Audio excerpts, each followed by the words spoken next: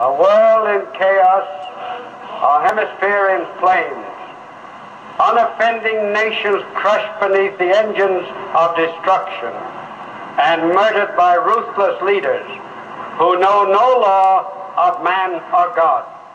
In 165 years, we have become the greatest nation on the face of this earth.